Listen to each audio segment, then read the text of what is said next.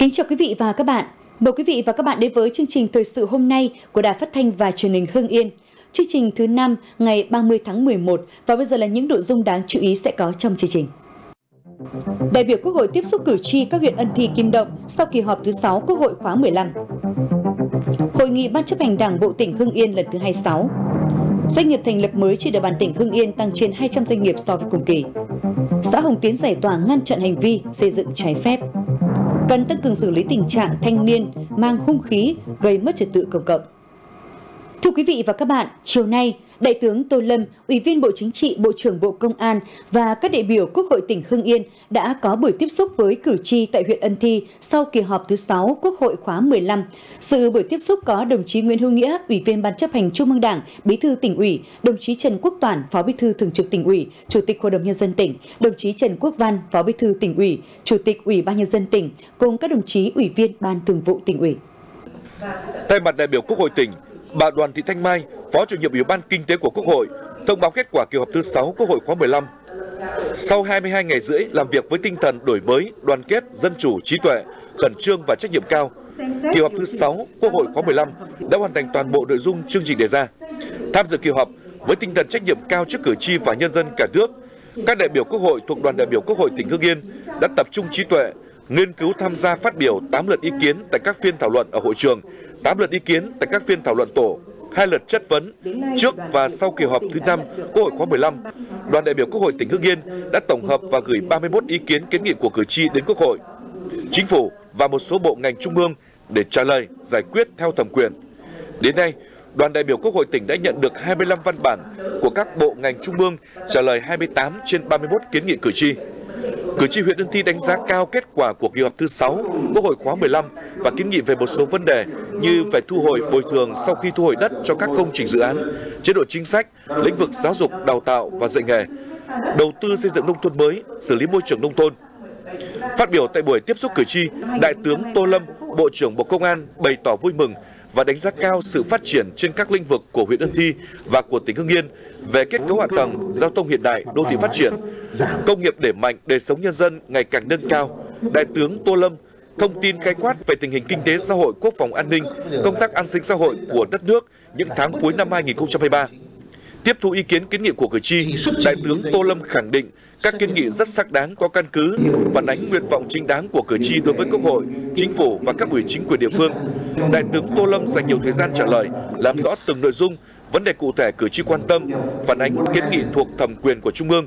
Đại tướng Tô Lâm khẳng định các phản ánh kiến nghị của cử tri thuộc thẩm quyền của Trung ương được đoàn đại biểu Quốc hội tỉnh tổng hợp đầy đủ để báo cáo Quốc hội và gửi tới các cơ quan chức năng xem xét giải quyết.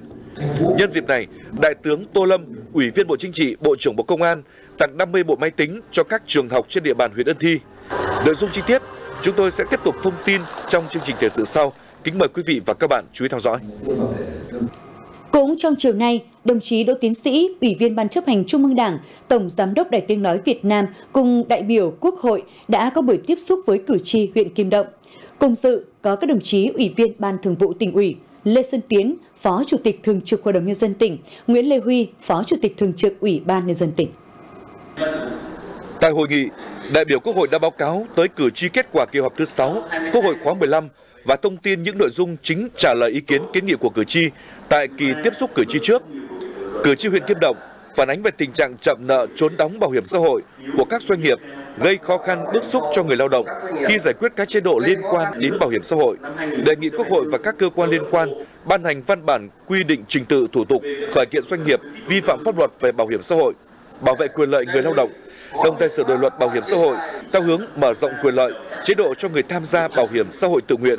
đề nghị có quy định để hạn chế tình trạng nhiều công dân trong độ tuổi nghĩa vụ quân sự trốn tránh nghĩa vụ bằng cách đi nước ngoài theo con đường du lịch, du học và xuất khẩu lao động, gây khó khăn cho địa phương thực hiện nhiệm vụ tuyển chọn công dân thực hiện nghĩa vụ quân sự, đề nghị tăng chế độ cho người tham gia huấn luyện dân quân tự vệ. Phát biểu tại buổi tiếp xúc cử tri, đồng chí Đỗ Tiến Sĩ thông tin thêm một số nội dung được thảo luận tại kỳ họp Quốc hội thứ 6 liên quan đến những vấn đề cử tri ý kiến. Đồng chí trân trọng cảm ơn và tiếp thu những ý kiến kiến nghị của cử tri. Các ý kiến của cử tri sẽ được đoàn tổng hợp gửi tới Quốc hội và các bộ ngành trung ương. Tỉnh Hưng Yên tiếp tục đạt được nhiều thành tựu ấn tượng trong phát triển kinh tế xã hội năm 2023. Tuy mục tiêu đề ra năm 2024 là tăng trưởng kinh tế ở mức 7,5 đến 8%, nhưng trong chỉ đạo thực tiễn phải phấn đấu đạt mức hai con số, đó là đánh giá và chỉ đạo của đồng chí Nguyễn Hữu Nghĩa, Ủy viên Ban chấp hành Trung ương Đảng, Bí thư tỉnh ủy Hưng Yên tại hội nghị Ban chấp hành Đảng Bộ tỉnh lần thứ 26 diễn ra sáng nay. Cùng dự và chủ trì hội nghị có đồng chí Trần Quốc Toản, Phó Bí thư Thường trực tỉnh ủy, Chủ tịch Hội đồng nhân dân tỉnh, đồng chí Trần Quốc Văn, Phó Bí thư tỉnh ủy, Chủ tịch Ủy ban nhân dân tỉnh. Phát biểu khai mạc hội nghị, Bí thư tỉnh ủy Nguyễn Hữu Nghĩa nhấn mạnh hội nghị Ban chấp hành Đảng bộ tỉnh lần thứ 26 có ý nghĩa hết sức quan trọng với việc xem xét cho ý kiến 10 nội dung, trong đó trọng tâm là về kết quả thực hiện nhiệm vụ phát triển kinh tế xã hội năm 2023 và đề ra mục tiêu nhiệm vụ giải pháp cho năm 2024. Theo thông tin cập nhật tại hội nghị cho thấy, tốc độ tăng trưởng tổng sản phẩm GRDP của tỉnh Hưng Yên năm 2023 ước đạt 10,05%, vượt mục tiêu đề ra xếp thứ tư trên 11 khu vực đồng bằng sông Hồng và xếp thứ 7 trên 63 tỉnh, thành phố cả nước. Thu ngân sách đạt 33.100 tỷ đồng, vượt 44% so với dự toán giao. Trong đó, thu nội địa đạt 29.500 tỷ đồng, tổng vốn đầu tư toàn xã hội đạt gần 69.000 tỷ đồng, vượt kế hoạch đề ra 63.500 tỷ đồng. Giải phóng mặt bằng được gần 440 ha đất cho các khu công nghiệp, thu hút vốn FDI đạt kỷ lục gần 900 triệu đô la Mỹ, tỷ lệ hộ nghèo giảm xuống dưới 0,9%. Tỉnh Hưng Yên xác định năm 2024 là năm bứt phá để bảo đảm hoàn thành kế hoạch phát triển kinh tế xã hội 5 năm 2021-2025.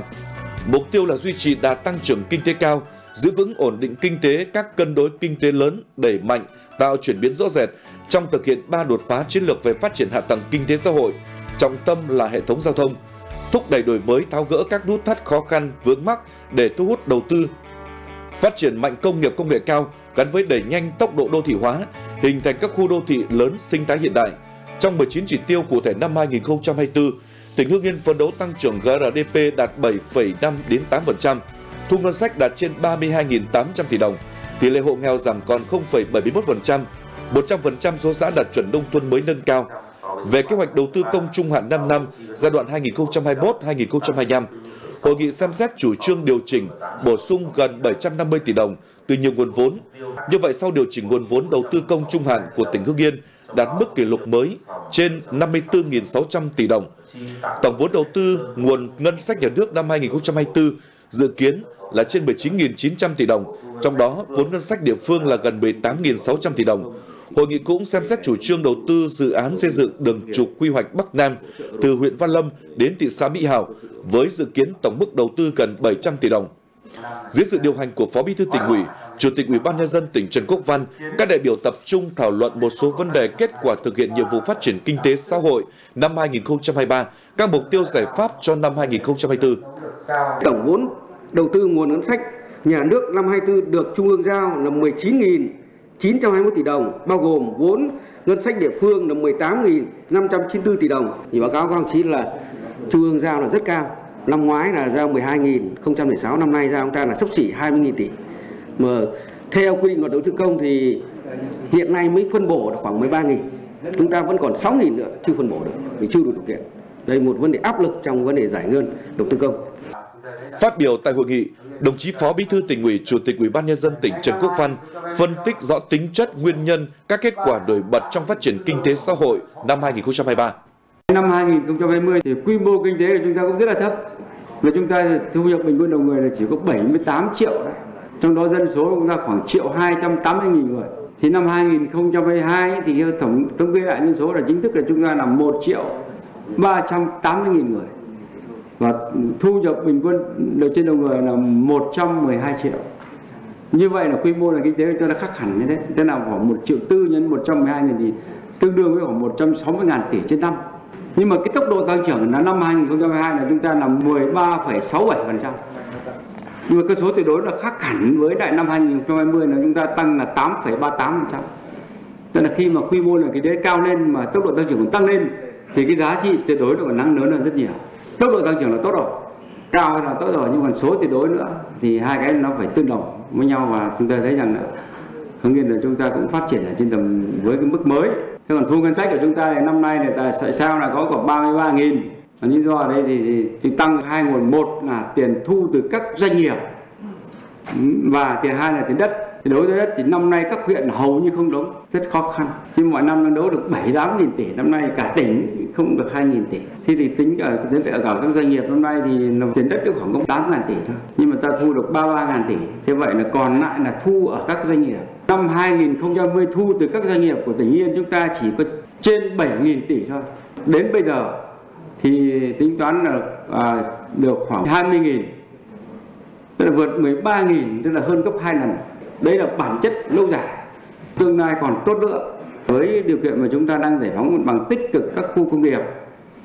và tiếp nhận dự án xúc tiến đầu tư với cái tốc độ chóng mặt như thế này thì rất hy vọng là sẽ mỗi năm ít nhất chúng ta có khoảng 1,5 đến 2 tỷ đô một năm từ lúc đó thì các doanh nghiệp về thì sẽ nộp thuế cho ta rất nhiều và tương lai là chúng ta sẽ phát triển bền vững chứ không phải từ tiền đất nữa. Kết luận hội nghị, Bí thư tỉnh ủy Nguyễn Hữu Nghĩa bày tỏ sự vui mừng, phấn khởi trước những thành tựu vượt bậc mà tỉnh Hưng Yên đạt được trong năm 2023. Đây là kết quả của một quá trình lâu dài kiên định theo đuổi các mục tiêu đề ra nhưng cũng đầy đột phá, sáng tạo từ tư duy đến hành động. Về các nhiệm vụ giải pháp cho năm 2024, đồng chí nhấn mạnh đến vai trò dẫn dắt của đầu tư công, đồng chí yêu cầu tuy mục tiêu tăng trưởng kinh tế ở mức 7,5 đến 8%, nhưng trong chỉ đạo thực tiễn phải nỗ lực phân đấu đạt mức hai con số. Mặc dù dự thảo đưa ra là 7,5 đến 8% trong bối cảnh tình hình khó khăn như thế, nhưng mà các đồng chí nhớ cho tôi trong điều hành ấy, trong lãnh đạo chỉ đạo điều hành hãy hướng tới cái mục tiêu tăng trưởng là hai con số cho tôi để chúng ta có có thêm quyết tâm sự quyết liệt trong công tác lãnh đạo chỉ đạo và thực hiện nhiệm vụ Bây giờ làm sao mà đạt được cái đấy? Năm 2024 vẫn là có hai thứ trở thành đột phá để dẫn dắt cái tăng trưởng, không thể nào khác được. Hãy lấy đầu tư làm dẫn dắt tăng trưởng, mà trong đấy đầu tư công là rất là quan trọng. Phải đẩy nhanh tiến độ các, triển khai các dự án đầu tư công để đảm bảo là chúng ta sẽ giải ngân hết 20.000 tỷ và cái thứ hai là đầu tư tư nhân. Đầu tư tư nhân của chúng ta giờ quy mô đủ lớn. Đầu tư tư nhân tôi nói các đồng chí là lớn hơn rất nhiều so với cả đầu tư công. Một đồng vốn đầu tư công dẫn dắt lan tỏa lôi kéo được là 4,5 đồng đầu tư tư nhân. Nào bây giờ ra là tính bài toán như này. 20.000 tỷ của năm 2020 tư này đầu tư công giả định tiêu tiêu hết thì chúng ta sẽ kéo theo được 90.000 tỷ của đầu tư tư nhân và đầu tư FDI tổng đầu tư toàn xã hội sẽ là 110.000 tỷ. Với con số 110.000 tỷ này cái chỉ số ICO cho biết là nếu như mà tổng vốn đầu tư toàn xã hội của năm 2024 thì sẽ tạo ra một cái tốc độ tăng trưởng, đóng góp vào tốc độ tăng trưởng của tỉnh Hưng Yên này 5 đến 6%. Cho nên tôi rất có niềm tin là năm 2024 chúng ta với sự quyết tâm thì chúng ta sẽ đạt được con số cỡ đầu đấy 11%. Thì chúng ta rất có cơ sở để làm được cái việc này. Và nếu như mà GDP mà chúng ta tăng cỡ khoảng 11% thì các đồng chí yên tâm là thu ngân sách từ từ khu vực sản xuất sẽ tăng lên. 20.000 tỷ tạo ra tốc độ tăng trưởng rất lớn và đóng góp rất lớn của khu vực xây dựng và kéo theo những các cái dịch vụ khác. Cho nên có hai thứ để lôi kéo tốc độ tăng trưởng của GDP năm 2024 tôi khẳng định lại với các đồng chí vẫn là hai cái đầu kéo rất quan trọng, đầu tư tư nhân FDI và đầu tư công phải rất rất quan tâm đến khía cạnh này. Và cái thứ ba nữa, và cũng là nhiệm vụ, và cũng là cái cái động lực mang tính chất hỗ trợ, dài hạn để chúng ta vừa chuyển dịch cơ cấu nữa. Đấy là đẩy nhanh tốc độ đô thị hóa. Thông qua tốc độ đô thị hóa thì các đồng chí biết rồi, đằng sau đấy chính là cái việc huy động các nguồn lực về đất đai cho phát triển. Đằng sau ấy chính là câu chuyện của chúng ta tái cấu trúc về nền kinh tế, phát triển thương mại và dịch vụ, phát triển kinh tế ờ, đô thị ở đây cái này là cái chúng ta phải rất là lưu ý. Ba, cái trụ cột này tôi vẫn nhắc đi nhắc lại ở đâu cũng phải nhắc đi nhắc lại chúng ta quán triệt rất rõ cái này. Tại hội nghị, đồng chí bí thư tỉnh ủy Nguyễn Hữu Nghĩa và đồng chí phó bí thư tỉnh ủy, chủ tịch ủy ban nhân dân tỉnh Trần Quốc Văn được trao bằng khen của thủ tướng chính phủ do có thành tích xuất sắc trong lãnh đạo chỉ đạo phát triển kinh tế xã hội năm 2022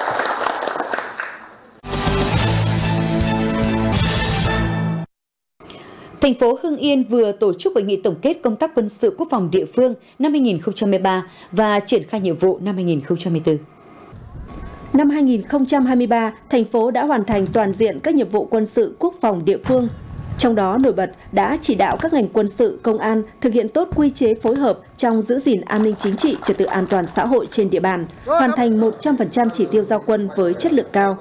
Năm 2024, thành phố tích cực chỉ đạo tổ chức xây dựng khu vực phòng thủ vững chắc, xây dựng tiềm lực của khu vực phòng thủ vững mạnh, đáp ứng yêu cầu nhiệm vụ trong tình hình mới. Chỉ đạo làm tốt công tác chuẩn bị và tổ chức thực hành diễn tập tác chiến phòng thủ thành phố năm 2024, phấn đấu hoàn thành 100% chỉ tiêu giao quân năm 2024 với chất lượng cao.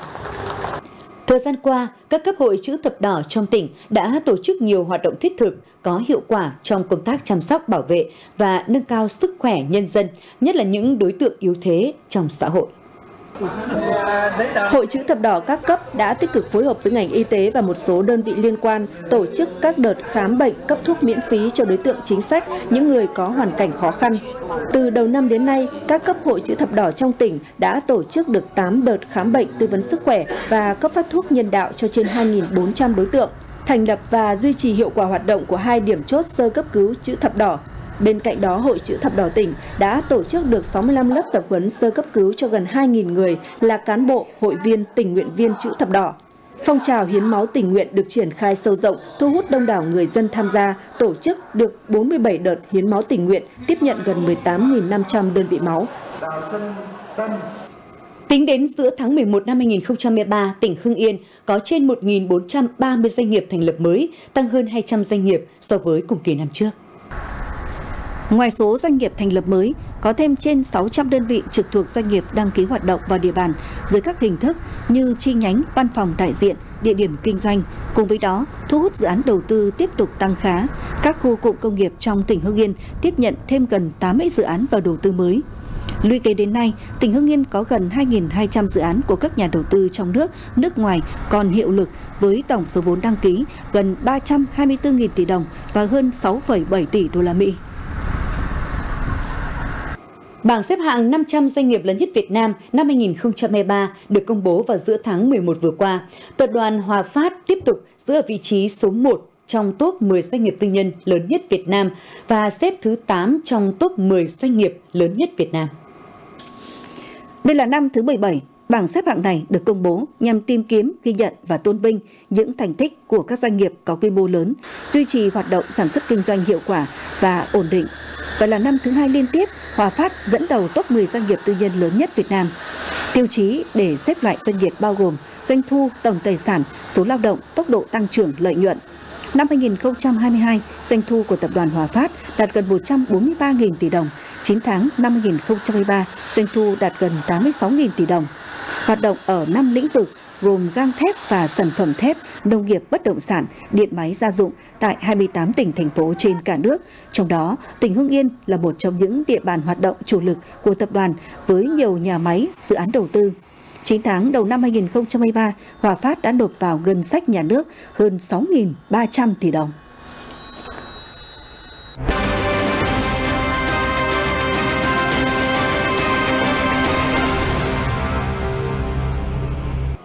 Đài Phát thanh và Truyền hình Hưng Yên có nhận một số ý kiến của công dân thôn Cao Quán, xã Hồng Tiến, huyện Quế Châu về việc năm 2020, nhân dân có đóng góp tiền và ngày công để cải tạo nâng cấp tuyến đường từ đình làng Cao Quán đến trường tiểu học xã Hồng Tiến. Nay dự án khu dân cư mới xã Hồng Tiến không làm đường gom mà đưa đường đi của thôn vào dự án.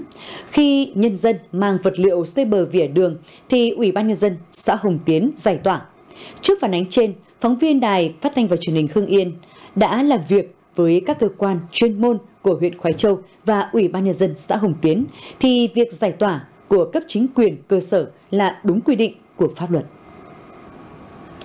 Sau khi có chủ trương đầu tư tại nghị quyết số 73 ngày 29 tháng 10 năm 2021 của Hội đồng Nhân dân huyện Quái Châu, Ủy ban Nhân dân huyện Quái Châu đã tổ chức lập quy hoạch tổng thể mặt bằng dự án khu dân cư Cao Quán, xã Hồng Tiến. Theo Ban Quản lý Dự án Đầu tư xây dựng huyện Quái Châu, đoạn đường đi từ cầu Đình Làng, Cao Quán đến trường tiểu học Hồng Tiến không nằm trong quy hoạch đất của dự án khu dân cư Cao Quán và dự án khu dân cư Cao Quán giáp đường cấp huyện, cấp xã, đường lên xã thì không cần phải có đường gom. Mặt khác, theo quy định của pháp luật, đất đai thuộc sở hữu của nhà nước Do đó, việc một số công dân tự ý mang vật liệu xây bờ vỉa đường thôn, cao quán, đoạn cạnh dự án khu dân cư mới Hồng Tiến là không đúng quy định của pháp luật.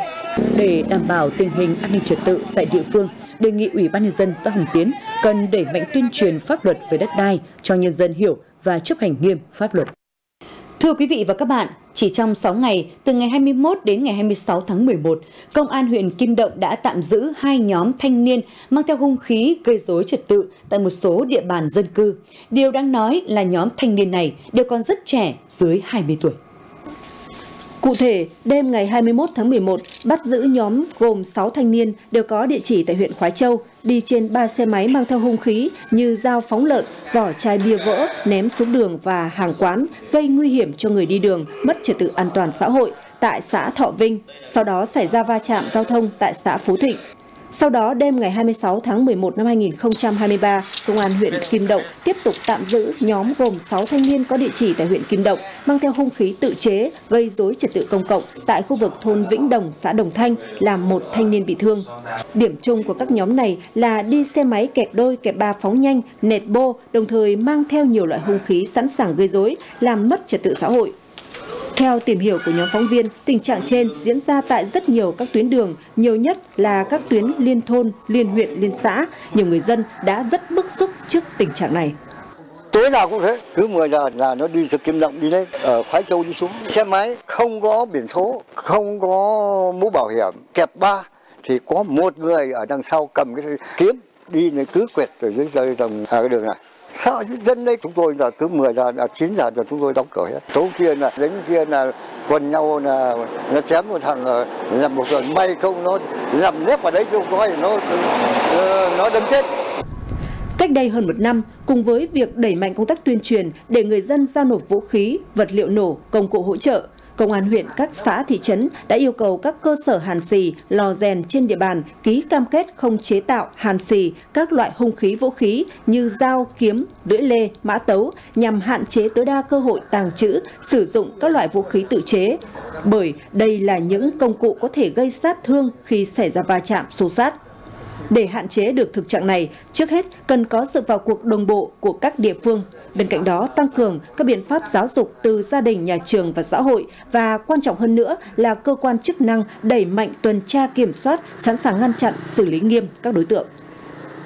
Quý vị và các bạn thân mến, thông tin vừa rồi đã khép lại chương trình thời sự của Đài Phát thanh và Truyền hình Hưng Yên. Cảm ơn quý vị và các bạn đã dành thời gian theo dõi. Xin kính chào và hẹn gặp lại.